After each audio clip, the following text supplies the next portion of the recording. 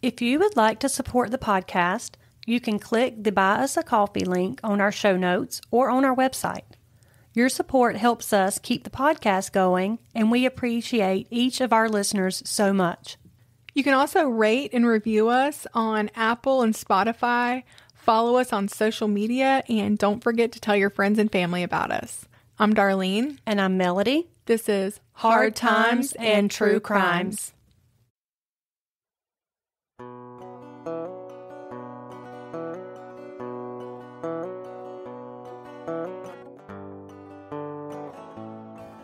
The Lord is my light and my salvation. Of whom shall I fear? The Lord is the strength of my life. Of whom shall I be afraid? When the wicked came against me to eat up my flesh, my enemies and foes stumbled and fell. Though an army may encamp against me, my heart shall not fear. Though war may rise against me, in this I will be confident.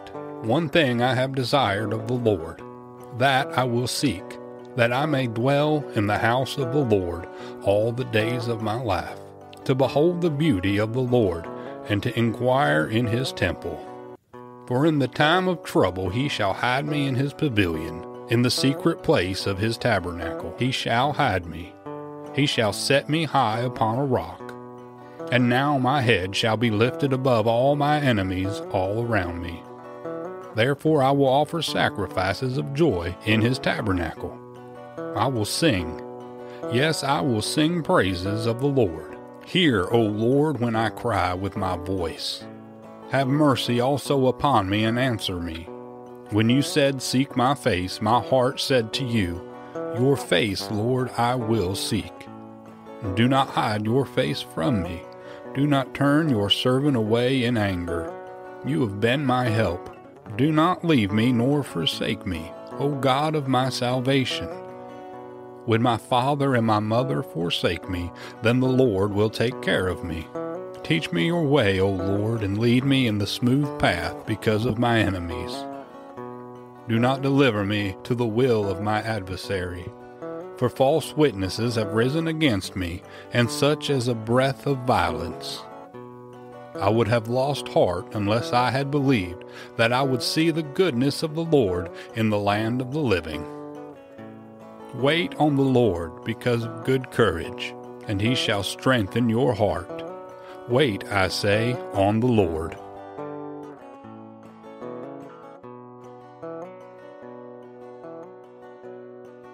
This morning we're drinking caramel macchiatos. And where did you get these, Darlene? Food Lion. they came from a packet. All right, I'm going to try mine. Wow.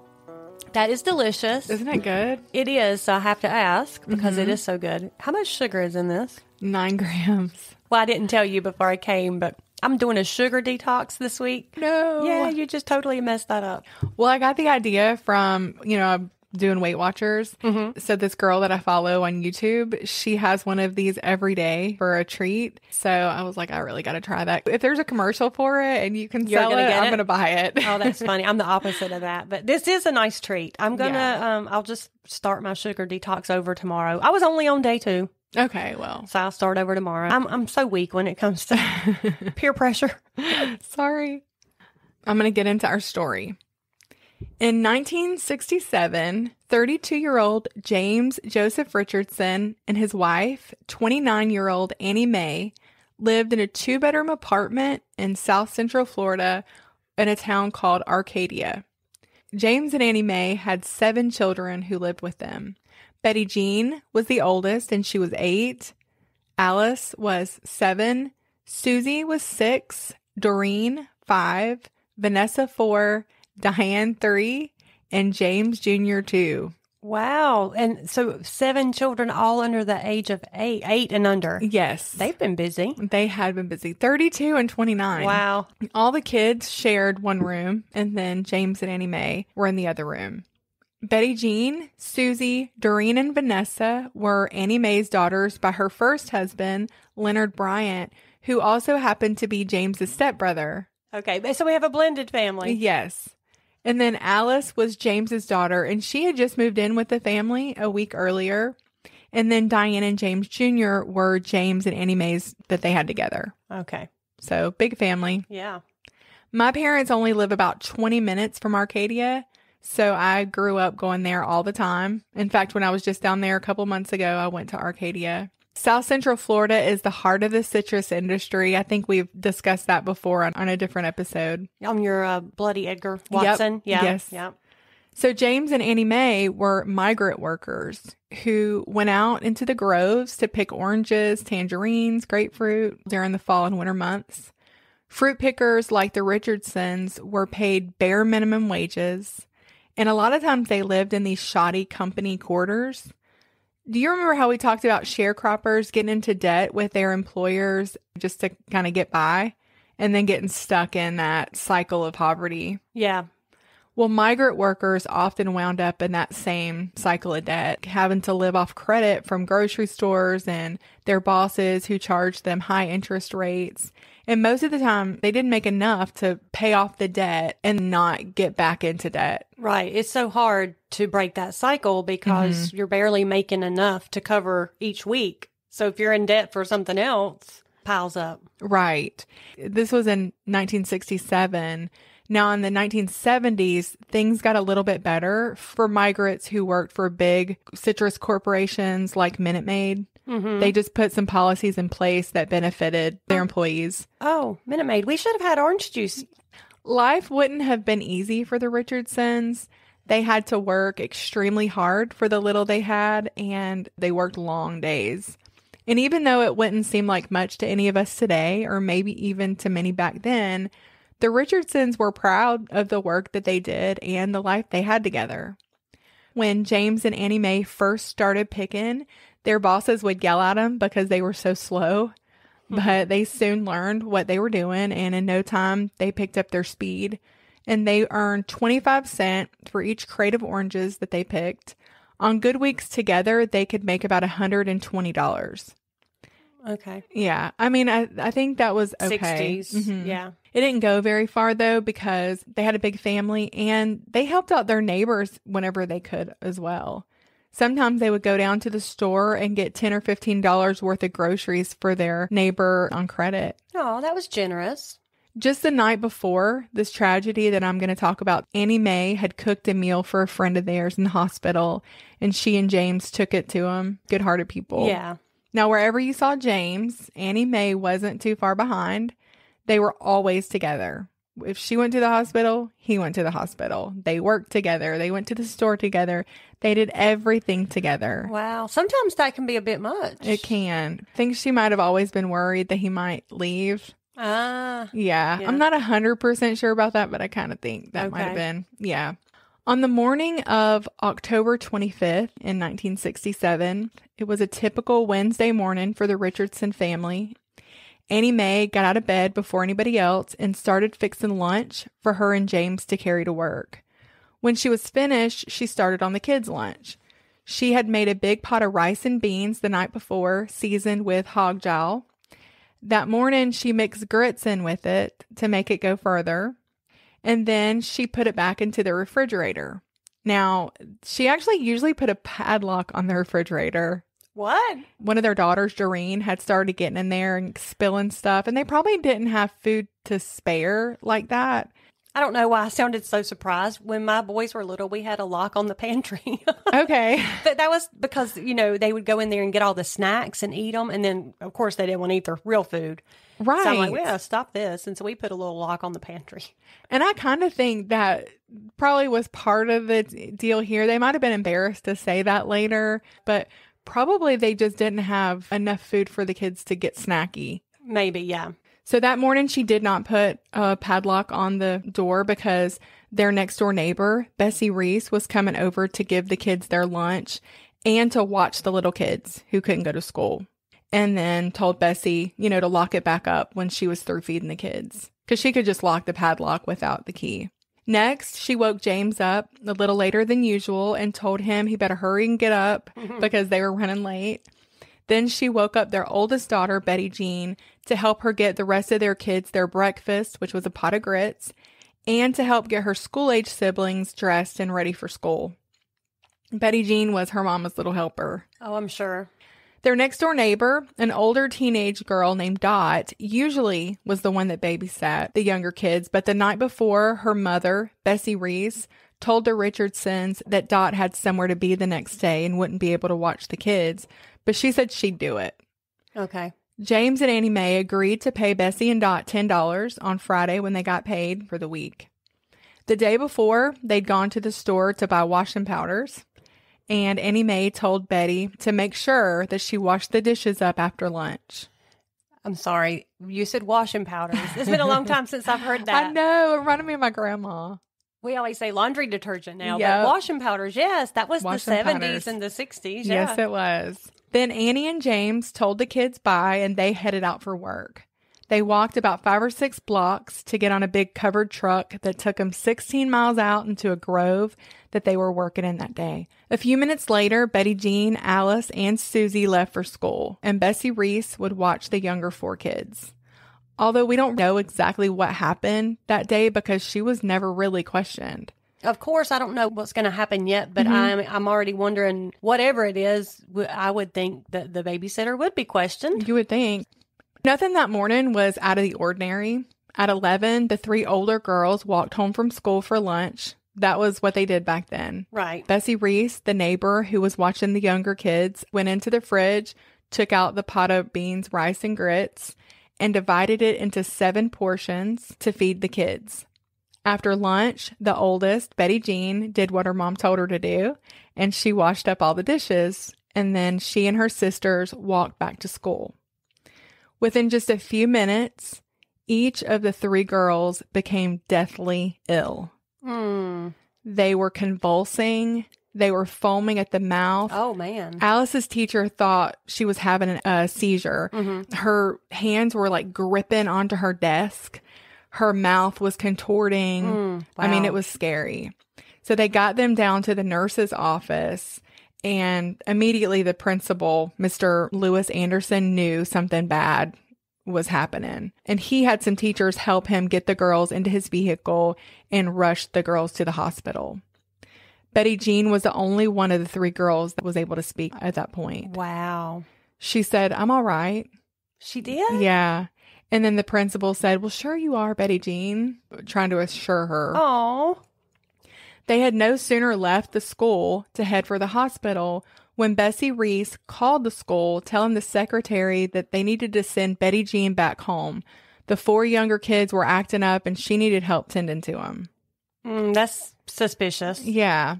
The secretary told her that the girls were seriously ill and that there were teachers on their way to the apartment now to see about the younger kids.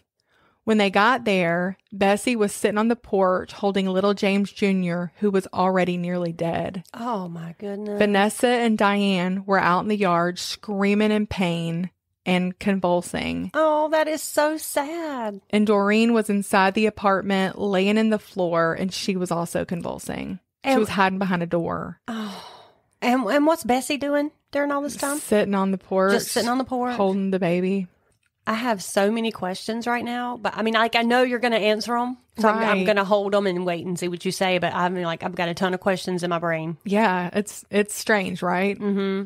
The teachers then rushed all four of the little kids to the hospital. Meanwhile, James and Annie Mae had just sat down in the grove to eat their lunch when a man, one of the farm hands, came running out to him to tell him that one of their kids were sick and had to be rushed to the hospital and that one of them needed to go be with them. They were worried because they assumed that it had been little James Jr. He'd been sickly just about ever since he had been born. Mm. He kind of had like a failure to thrive thing where Yeah. he didn't put on weight very well and just, you know, just stayed sickly. Mm-hmm. They both wanted to be with their son. And again, where one went, the other one went. Right, and that was their shared son.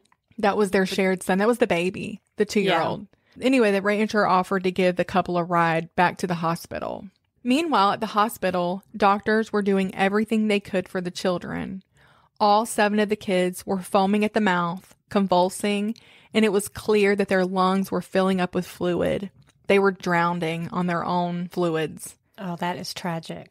Doctors and nurses were frantically trying to save their lives, using tongue depressors to try and remove the foam from hmm. their airways.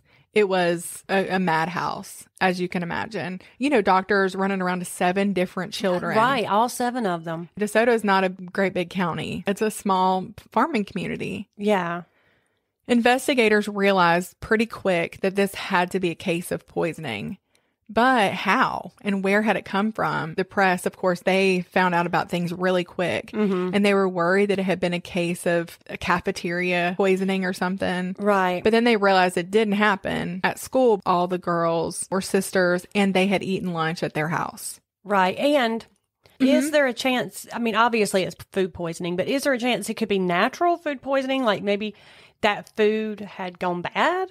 The I only don't thing think that makes that me think ever- no is because like that foaming at the mouth. Yeah. Could it have just been An accident. like she made that food the night before and it was something there was something bad in it? It's definitely not. I don't think they ever thought it was food poisoning. Okay. So I'll just say that. Two different law enforcement agencies had jurisdiction over this case. So there was the Arcadia Police Department, and then there was the DeSoto County Sheriff's Department. Okay. Officer John Minoan with the Arcadia PD wanted to do something. He'd been hanging out at the hospital, watching these kids suffer, Suffer. and he felt helpless. So he decided to leave and go to the Richardsons' apartment to see if he could find the source of whatever poison these kids have got had got into. Well, that was good thinking. It was. When Officer Minoan got to the apartment, even before he walked in, there was an odor so strong that he had to cover his nose. Well, okay, now that's interesting. Yeah. What like okay, so an odor of what? Now he said what a penny would taste like times a thousand. So like that coppery Yeah. metal. hmm And you hear people describe it different ways throughout Okay. this, but yeah, that's how he described it. As Officer Minoan walked inside the apartment, the smell was overwhelming.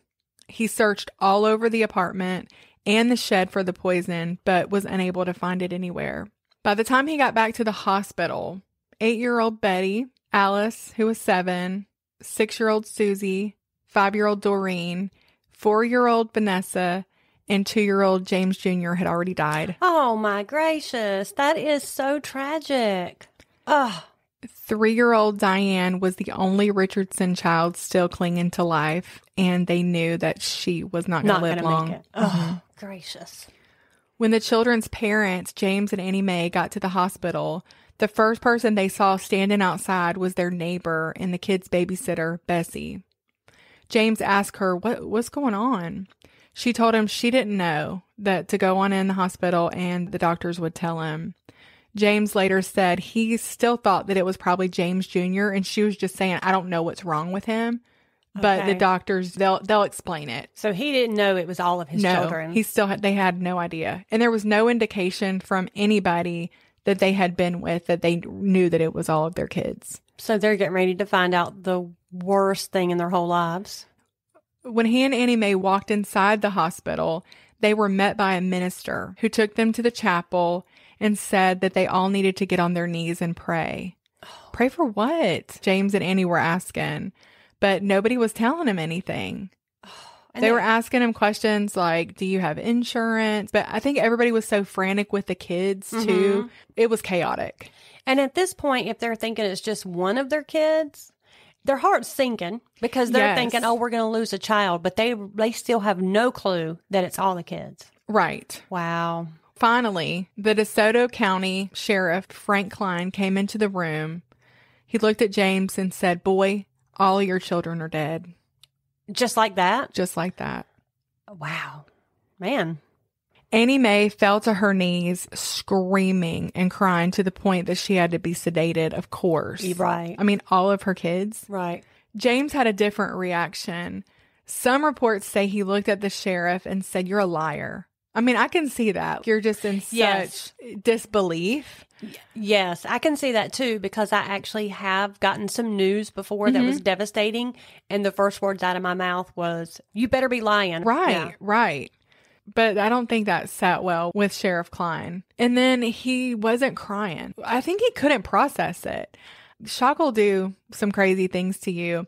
I remember my, my mom, my dad's mom, telling me about when she found out that her oldest son, who had just turned 18, had been killed in a car accident. Mm. She could not even cry. because she was, She was just in shock. Now, you know, eventually when they came, you know, it took a long time for them to stop, but it is really important not to judge people on their reactions to traumatic news like this. Yeah, and I still, I mean, I will admit, I still do that. Yeah, but I think hearing these cases over and over and over again, it's teaching me. I think so too. I think so too. I'm I'm noticed that now I'm I'm less quick Right. to jump to that assumption like, oh, you're not crying. Right.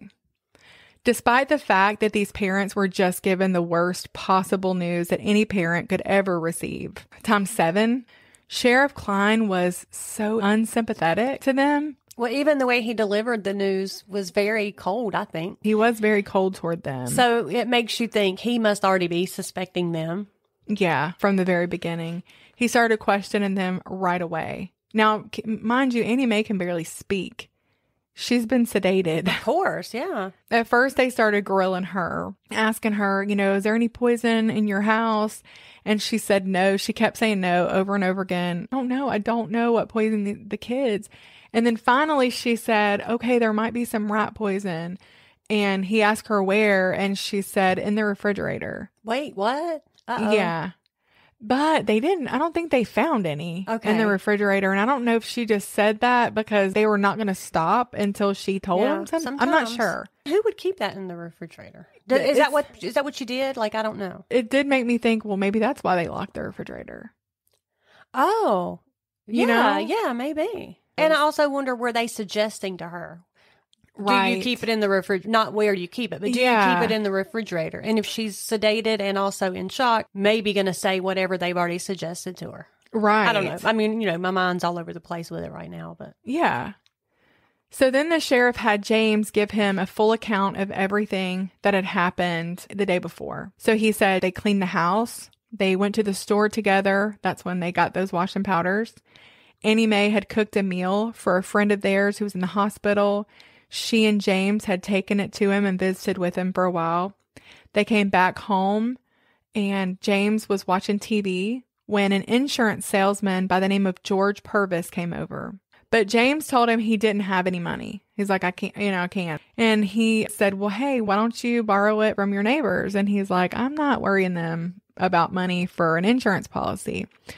Well, he was like, Well, do you want insurance? And James was like, Yeah, I do. I had it on my wife and kids, but I let the policy lapse. And so, I, again, I can't afford it. Mr. Purvis said, Well, I'll, I'll tell you what, I can pretty much like draw it up for you, but I can come back and get the premium. It's not going to be effective until it's paid for. So I'll come back Tuesday, right? James said during this time, the neighbor, Bessie, kept running back and forth between their apartment and hers. Mr. Purvis, I don't know if he wrote it up because I've heard two different things. One thing I've heard says that he wrote it up. And then the other thing I've heard was that basically he just left a business card, kind of their like a little agreement. right. Then Purvis left and told him that, look, it's no good until the premium's paid, but I'll be back to get the money next Tuesday. And he left. After that, Bessie came back over to tell them her daughter couldn't watch the kids that next day, but that she could do it. Remember, we had Mhm. talked about that.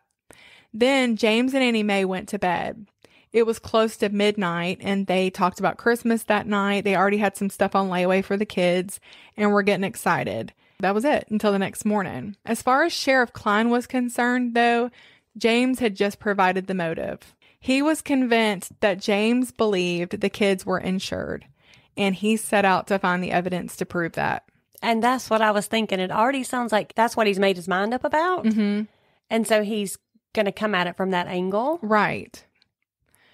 The Arcadia PD had been to the apartment, but now Frank Cline and the DeSoto County Sheriff's Department, they tore that apartment up looking for evidence, looking for the poison, anything that they could. Yeah. And they actually ended up confiscating 59 items of evidence, Hmm. Including the papers from the insurance agent that James had left on the TV. Also, out of those items, 22 ended up having traces of that poison. The lunch pot, the plates, the utensils that the kids ate from, the breakfast dishes, the sugar, the flour, the washing powders, a sweater, a rag, a windbreaker, and a hard hat. That is very strange. A whole city could have been poisoned to death with the amount of poison found in that apartment. Wow. This is kind of out there, but like, is there any chance that the washing powders could have, like when she added the grits Mm-hmm. to the pot of beans and rice, could she have mistakenly added the washing powders and maybe they've got, I don't know. That's a good theory, but it's not. That's not it? Okay. No. They did find all this evidence, but despite their best efforts, they could not find the poison itself. Okay, so they found the evidence of the poison, but they didn't Yes. find They the could not find, and they looked everywhere. They looked in the shed, everywhere. They tore that apart, looked all over the apartment, tore that apart. So the press, of course, was already running wild with this story. They came to the hospital to question James Richardson, asking what happened to his children. He told the reporters, I have no idea, but the sheriff had better find out because it's his job. Oh man, And Sheriff Cline, as you can imagine, did not appreciate that. right? You have to remember this was the South. I'm not saying that this case was racially motivated, but I think it did play a part in the way that he was treated. Does that make sense? yeah, is because he was a migrant worker? He and his family were black. Okay, And, and so maybe they were l- more suspicious of them. I think they believed that he was mm-hmm. guilty, but I think the way he was treated, like the Mm-hmm. Way he see went in there and saying. said, Boy, your all your kids are dead. Yes. he ran for sheriff. He had some very interesting views about black people, about how they weren't as smart as white people. Yeah, like their Had a brains bearing were smaller. on the on It how did. he uh, treated them. Yes. And- okay, I got you. Now, what about the babysitter? Was she black too? She was, Okay. and he protected her. It's crazy. You can tell my mind keeps going to her. Like, yeah, it, it is weird. when James and Annie Mae were allowed to go back home from the hospital, the police drove them. When they were walking up to the house, as they got closer, James said, What is that smell? To him, it smelled like, you know how a gas stove will have Mm-hmm. a really strong Yes. odor? Well, he said that's what it smelled like. The Arcadia PD Right. did ask Bessie, and she said, I, I didn't smell anything. Oh. yeah, see, she said she oh. smelled nothing. So, anyway, when they got in the door, it was like an almost overwhelming smell. The police officers went inside and James helped put Annie Mae to bed. She just was like in a trance almost, Pro- either from shock or from the sedatives, and pr- probably both. Both. I mean, she's probably a basket case. I, I'm sure. The next day, a neighbor, Charlie Smith, was asked by Betty Reese to go with her into the Richardson shed to see if they could find the poison. Lo and behold, even though two law enforcement agencies had searched high and low, Charlie, helped by Bessie Reese, found the bag of poison almost in plain sight. hmm. All right. You know, I, I already think she had to be the one that did it. Like, I'm convinced. It's interesting because the bag of poison was dry, even though everything else was wet with dew. Hmm. Yeah. Well, that's because she planted it in there. It was very suspicious, but not to Sheriff Cline. You're kidding. He was convinced that James was the one that put it there, that he needed to get rid of it. And so he put it out there overnight. But where would he have hid it? In the Right. meantime, it's not like he could put it in his pocket. Yeah. And that was the evidence he was looking for to to Mhm. point to James. Absolutely. The poison was called parathion, and it was a deadly insecticide, and it was used in orange groves. Mhm. Okay. When it's ingested, it causes its victims to die excruciating deaths. Oh, that is so sad. Just thinking about those kids suffering. Yeah. Remember, uh, I think it was your second episode that you did about Aunt Earl Dennison and those little girls yes. and Oh, just how they suffered. Oh, I'm just, that just breaks my heart. the same with all seven of these babies. Mm-hmm. And with that amount of poison, they didn't have a chance. Right.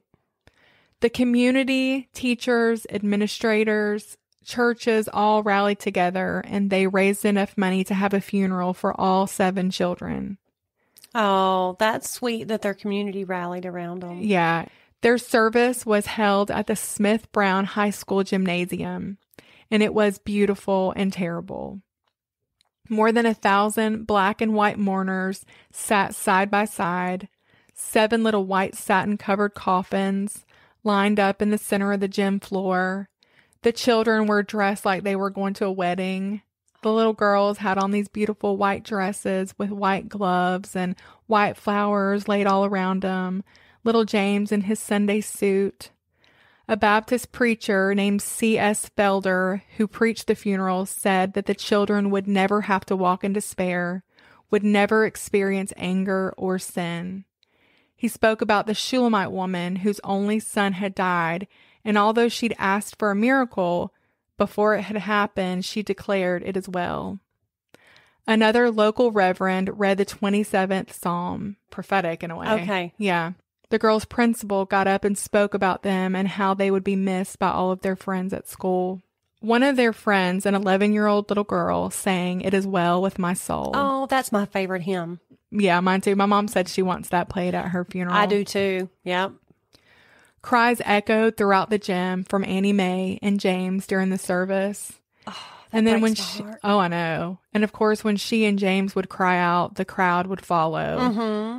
Everyone felt sick with sympathy for the poor souls whose world had just fallen apart and for those little innocent babies who died such painful, terrible deaths.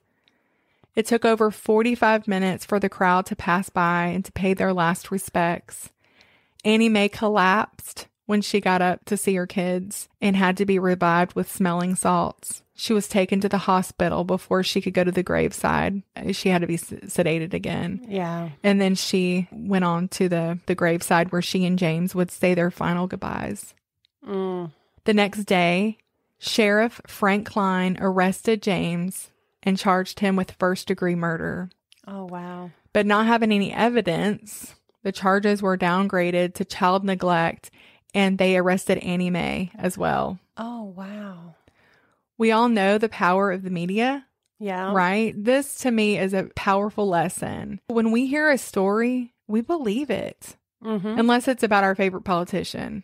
I think how many people are tried by media, I know. And we and I'm guilty of. Yeah, and we're like, we we seeing that more and more with our episodes. Almost Yeah. every one that we do, we're seeing how much the media plays into it. yes, Cline and Judge Hayes held a press conference telling the media that James was the prime suspect and that life insurance was the motive. He said that James Richardson wanted to get rid of his family.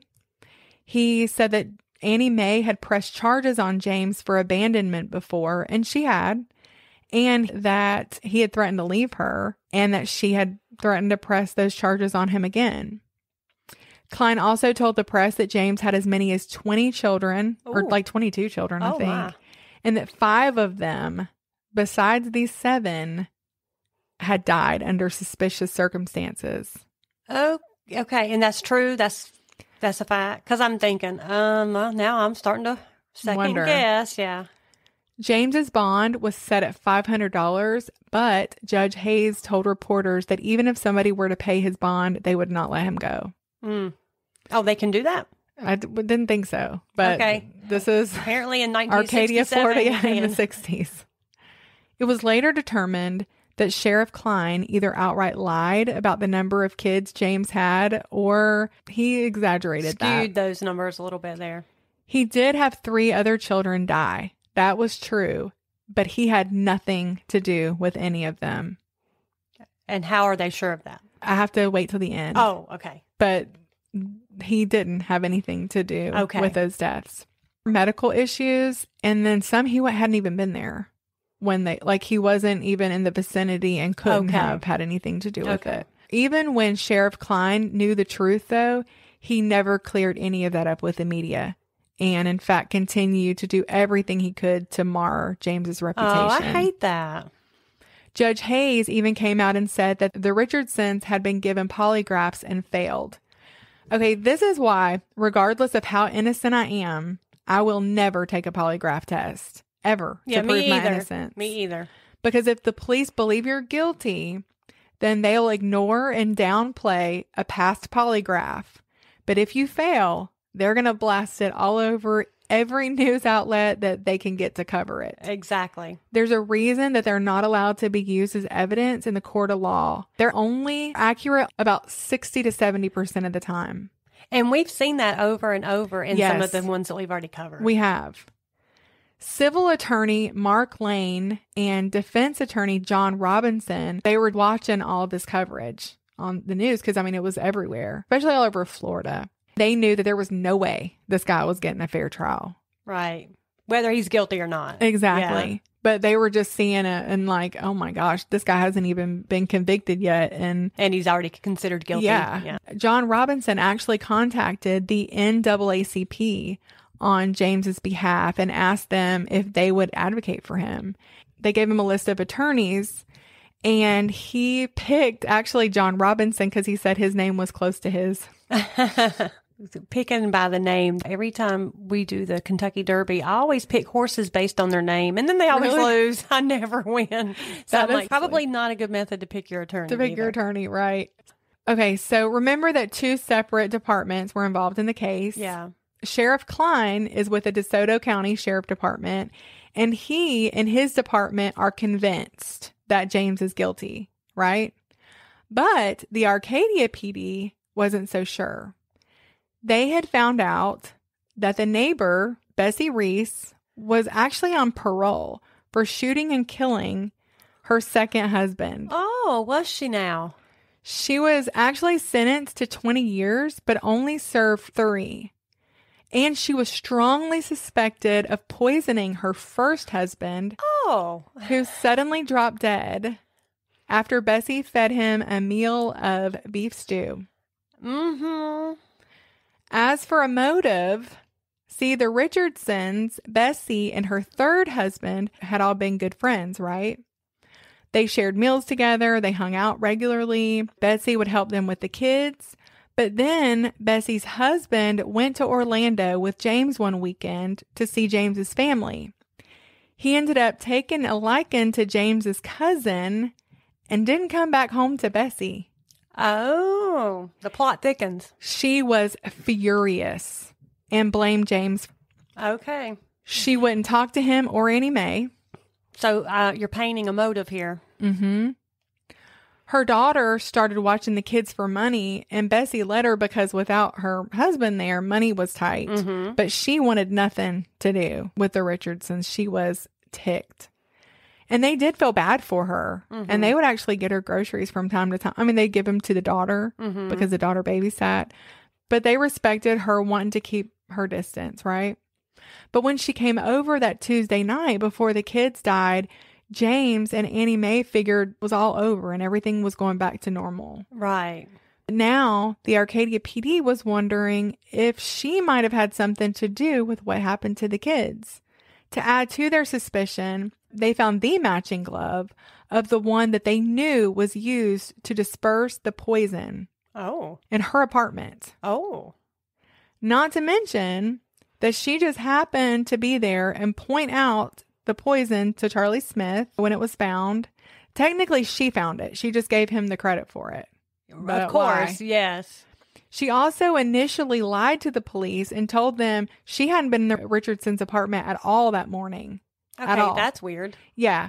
But then she changed her story and said, okay, well, I went in, but I just went in to divide up the food and I mm-hmm. gave them the food and they all fed themselves. I was thinking, okay, so the two year old fed himself? Right, exactly. Yeah, her story does not add up Right. at all. The two year old fed himself rice and beans and grits. The Arcadia PD called Frank Cline and they told him everything that they had found out, but he was not interested in even considering Bessie Reese as a possible suspect.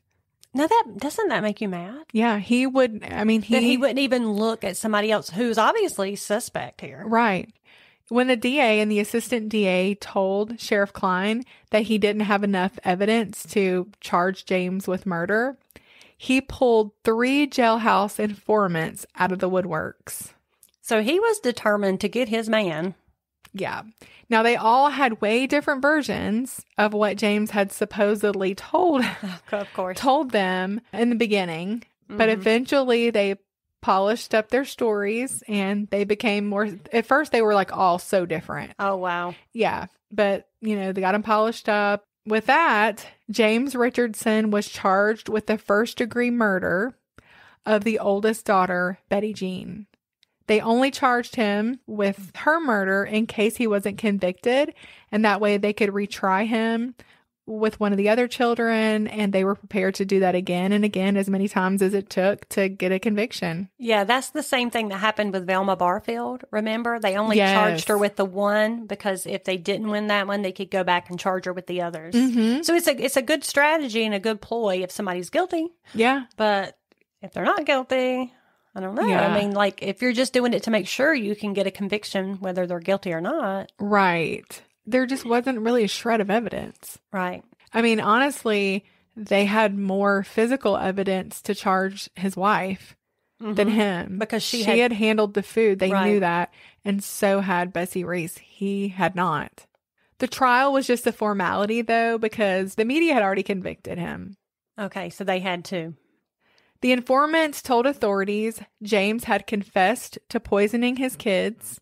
At the trial, two of the informants said James told them he put parathion in the food. One said that he was mad because his wife was having a lesbian affair with Reese, the next door babysitter, which was never even Okay, and I actually was going to ask earlier, was there any chance that Betty Reese and uh, James could have been having an affair? Maybe they did this together. No, No? I don't Okay. know. The other informant had been shot to death before the trial, but somehow they still allowed a statement to be read by what he supposedly said. Wow, talk about loopholes. Exactly. Wouldn't that be considered hearsay if he? Yeah, like if of it was course just it a- would. Yeah. Yeah. Oh, and within a week of all the jailhouse informants giving these testimonies, they were out of jail and their charges were dropped. Well, isn't that convenient? hmm But Sheriff Cline arrested Bessie Reese and George Smith and put them in jail as material witnesses. Huh? Yes. Wait a minute. He arrested them hmm and put them in jail Uh huh. as witnesses. Yes. Yeah. Can you do that? He did. I it. didn't think so, but that's what he did. This is a bizarre case. Yes. Was I didn't even think that was a thing. I never knew. I guess in the 60s, they did what they wanted to do. I read in the newspaper, remember I had said earlier that the judge said, even if he makes bail, we're not letting him go. Right. I mean, they did things their way. In the trial, even though John Robinson tried to have the trial moved, it was denied. Sheriff Cline kept making inflammatory statements about James's other children dying under suspicious circumstances, which he knew by this time that James had nothing to do with those with deaths. with those deaths. He also uh, said that he had a receipt proving that James had bought insurance, but he never produced the receipt, nor did he call the insurance man Purvis to testify. Because Purvis had already explained over and over again that he had not sold James a policy. He said that James knew the policy was no good until it was paid for. He made that clear. But Sheriff Cline decided that Purvis knew he'd get fired if he admitted the truth, which he believed Purvis told James he would go ahead and cover him for the premium until Tuesday. And so anything that Sheriff Cline just decides is the truth, he can just put out there. Yeah. And I'm sure he's putting this out to the media. Oh, yeah, he is. And Cline said insurance salesmen did that all the time. And that was just something that they did in order to make sales. So it was illegal. And that's why he believed Purvis couldn't admit to it. So he just didn't call him. The prosecution also didn't call Bessie Reese, who was literally the last person, Mm-hmm. Well, to feed the kids. So they knew she definitely fed them the poison in their last meal. And they didn't call George Smith, who found the poison. So they didn't call her, Nope. but she was put in jail. Yep, they didn't end up calling her. Oh, that is definitely fishy. So uh-huh. I wonder why they did that. Were they trying to keep the defense from being able to? Maybe I don't know. I got. I read I read statements from her. So if you have any questions, ask me because I may know. Okay. The defense called 13 witnesses. They called Annie Mae. She told how much James loved the kids, how he worked hard to provide for them, how he never mistreated them, much less would he murder them. You know, she was absolutely convinced that he had nothing to do with it. His stepmother was Annie Mae's kid's grandmother. All right. Wait a minute. Okay. So remember his stepbrother Oh yeah. fathered Annie Mae's other kids. Oh, that's right. remember that? yes, yes. So she was very much intertwined in the family, and those were her grandkids. You know, those were her not Yeah. her real son's children. And she said that she knew and she believed his. she absolutely innocence. believed that he had nothing to do with it. She said he loved those kids. okay, and she was she was not his mother. She was his She was stepmother. yes, so okay, so she doesn't have any reason to no reason cover to for him. Absolutely not. They also called cellmates and other inmates that had been serving time with James, who said that he never had confessed to anything as long as they had known him, and most of his time in jail was spent crying over the loss of his children. Mm, You think about it, he didn't really even get to grieve. no, He was started having to defend himself right away. yeah.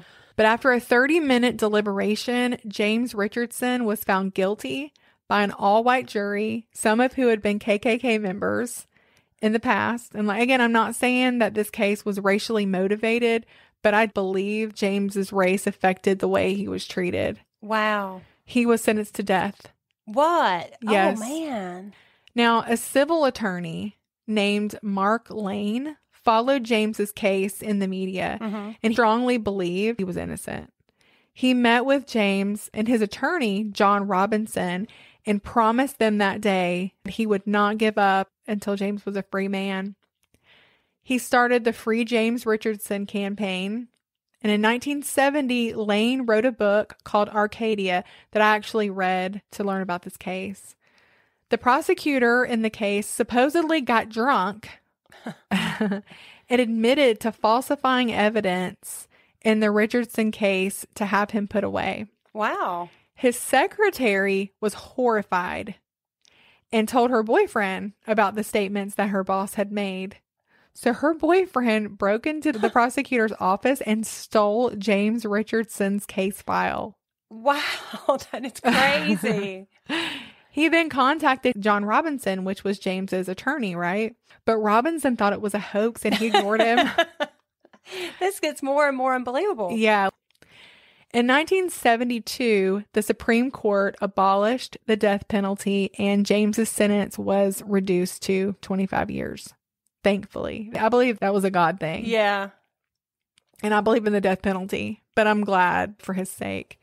In 1988, the only jailhouse informant who was still alive recanted his statements about James. He said that he was persuaded and bribed by Sheriff Frank Cline and the district attorney. Oh, and then Mark Lane got those stolen files. Yeah. So he got a hold of them. Oh. They found out that the defense had not been made aware of very important information in the case. And you know, that's not Yeah. that's not allowed. in discovery, you're supposed to put it all out there. Exactly.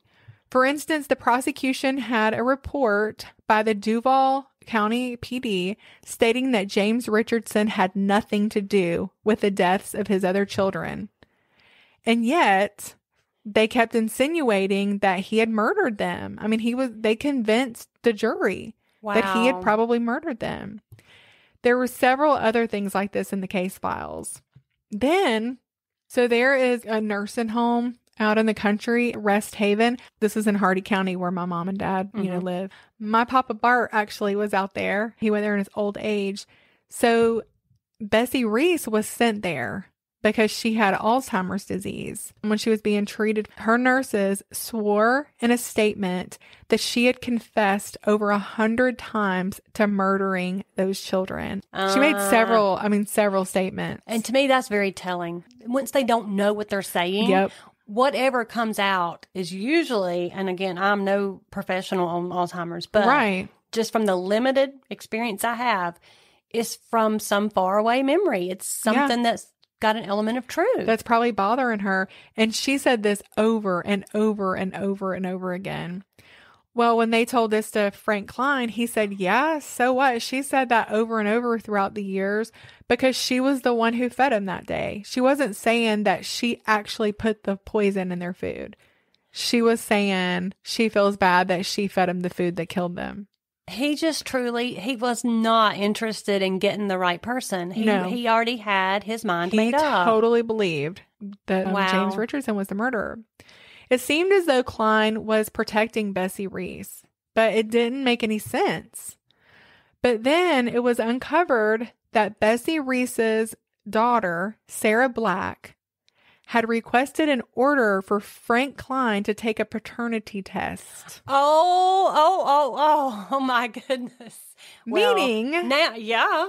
Go ahead. that he was most likely the father or the potential father of Bessie Reese's grandchild.